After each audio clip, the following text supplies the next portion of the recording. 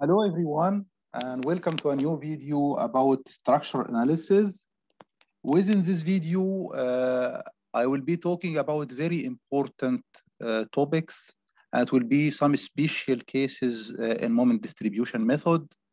Uh, we will be talking about a case when you have an overhang or cantilever, and how to deal with that case, how to solve it within a very short time that can save you like 80% of the time if you solve it with the regular way. Also, a case when you have a joint moment at inter intermediate support, how to take this moment into consideration and how it will affect your solution using the moment distribution method. Let's start by the cantilever case. And when you have a cantilever similar to the ones that we can see here, how to deal with that case.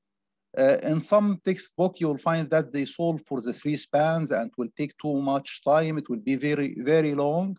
Okay, however, we can save like 80% of that time. We can solve it in, in a very easy uh, way by following uh, the methods that I'm going to explain now. Okay, first of all, if you have a cantilever like that one, so uh, you have to remove the cantilever and take its effect. So you have a concentrated load here on a span L. So we just need to remove the cantilever. When you remove the cantilever, you have a moment at this joint B. The moment will be equals to P times L. So this will be a joint moment at this joint B. In addition, you will have a concentrated load, which is P at this end. Okay, this is the first step, is to remove the cantilever and take its effect on the beam. Then we have to calculate the fixed end moment and the stiffness for the new shape. Forget the old shape and now deal with the new shape. You have two spans. Span BC, it will be pin or roller connection at uh, joint B. You have continuity at joint C. Okay, so the K for that member BC, it will be the special case 3EI over L. Also, when you calculate the fixed end moment, it will be for the special case. It will be continuous from one side and then from the other side.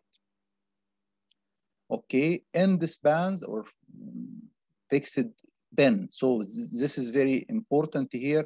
For the span here, it will not be continuous as in the original case when you have a cantilever. Now we remove the cantilever, so we will deal with the new uh, shape. And in this case, the span BC, it will be assumed as fixed from one side and pin from or roller from the other side. In this case, you have to take all the special case consideration uh, when you calculate the stiffness, the distribution factors, the fixed end moments.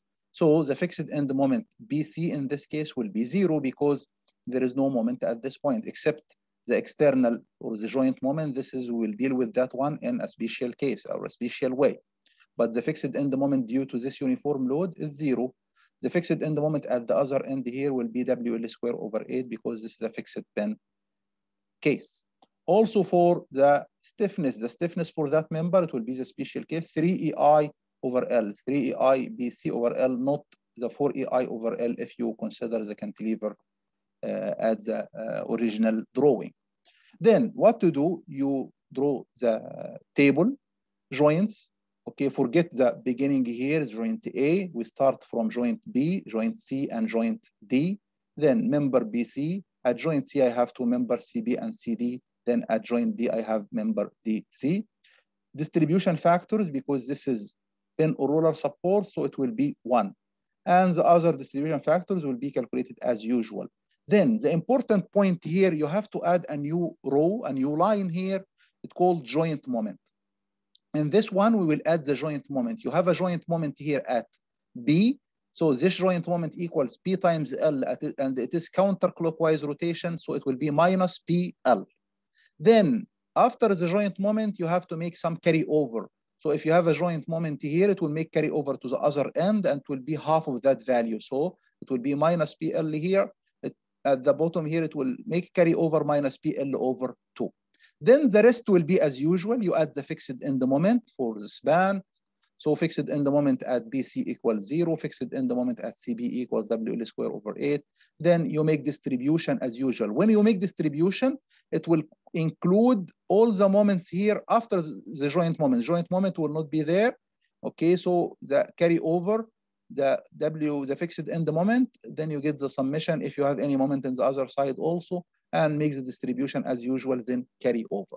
So the idea here is to remove the cantilever, take its effect, put it as a joint moment, get the carry over, and then continue your work as usual. And keep in mind, when you remove the cantilever, the end support here will be pin or roller support. So this will be a special case, K is 3 EI over L. Fixed end moment also will be as fixed pin connection, okay?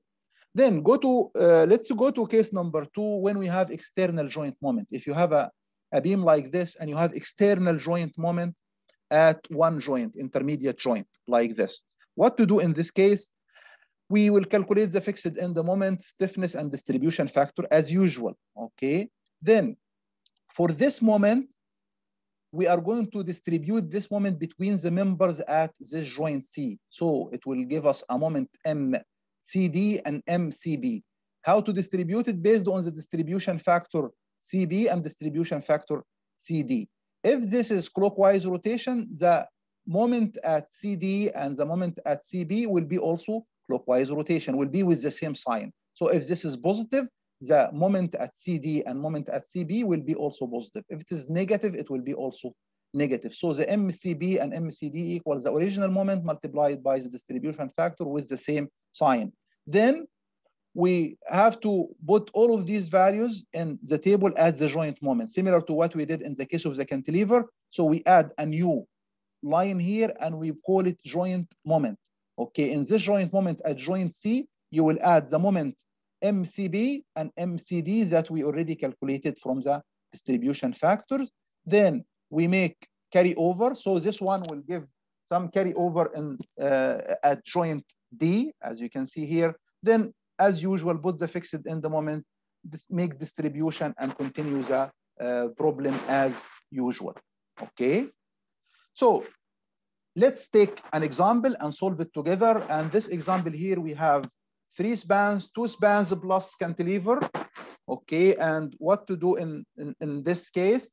The first thing is to remove the cantilever and takes its effect as we uh, explained in the uh, few minutes ago. So this is the cantilever. You have 2000 Newton multiplied by this distance will give you a moment of 2000 multiplied by 2 meters, 4000 Newton meter. We'll take this effect on the beam and we then we can remove the cantilever. So this beam now, it is changed from the two spans with cantilever is only two spans and you have external joint moment here at this final or last joint. And the load here, this load will not affect anything in our solution. Then the second point, if you have different inertia for the spans, we have to consider them also. Take the minimum one as I and the other one take it in relation to this I. So this is the minimum is EI because the E is constant. And then it will be here, this 300 divided by 240 times EI. So this will be EI and this will be 1.25 EI. Okay, this is the new uh, problem. Then solve this problem as a new problem. Forget about the cantilever and then you can continue. Calculate the fixed end moments. So fixed end moment, we have span uh, BC. Fixed end moment BC at this joint will be zero because there is a roller support. Then fixed end moment at CB, it will be WL square over 8 and it will be positive because it will be clockwise rotation. And then fixed the moment for span CD will be zeros in both sides because there is no loads. Okay, what else? We have to calculate the stiffness factor. The stiffness factor for the first span will be the special case 3i BC over L. So replace the EI with the correct one, which is 1.25 EI. This will give us 0.9375 EI. The other one here will be the original case, which is 4 EI over L, fixed, fixed. And it will be that one, remove the EI, and this will be the case. From the case, we can calculate the distribution factor. Distribution factor as joint B, which is roller support, will be one. Then for joint C, calculate distribution factor left and right, okay, equals the K for CB divided by the K of the joint then KCD divided by the K of the joint will give us these values. And keep in mind that the two values here, summation should be uh, equal to one. And then the joint D distribution factor equals zero because this is a fixed support. Then let's apply the table.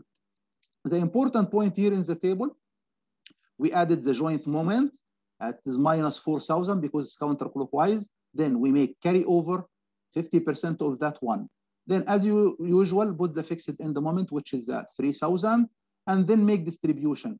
For the distribution, you take all the moment within this part. Here is just joint C, minus 2,000 plus 1, 3,000 will give us uh, plus 1,000. So the opposite will be minus 1,000. Minus 1,000 times 0.413, it will give us 413 times 0.587 will give us 587. Then we can make a carry over to the fixed support. You can put it in a special line or I put it here because this is the end of the problem. Then get the summation of the moments as you can see here, minus 4,587 minus 587 and half of that value. Okay, this could be the end of the problem, but if you want to draw the bending moment, how to draw the bending moment? For the cantilever, it is a determinate part, can be draw, we can draw it without even doing anything because we can get the moment. Let's apply the moments on the span BC and CD. Don't forget to add the uniform load, and for span CD, there is no load. So BC, it is minus 4,000, so it will be counterclockwise rotation, as you can see here. Then you have 587 CB is positive, so it will be clockwise rotation. Then CD, it will be again counterclockwise rotation. And DC, it's also minus, it will be counterclockwise rotation. These are the moments. So now we need to draw the bending moment diagram. The important in drawing the bending moment diagram is to draw the moment at the position of supports and at the end of the beam. Okay, at this support B, where is the moment? It is 4,000. Where we draw it, we draw it at the head side, okay, at the compression side. So this is a negative moment because it's pushing down here. So it is minus 4,000 Newton meter. This is the value.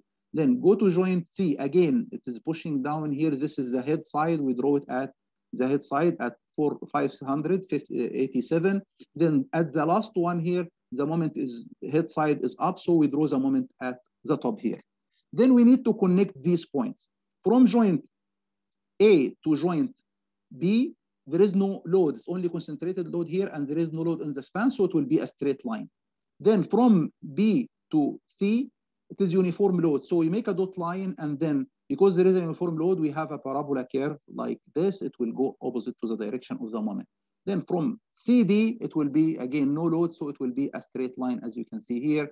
Then we can calculate the maximum moment at the position of zero shear, or we take a section to decide where is the position. This will be at 2.57 meter from joint B.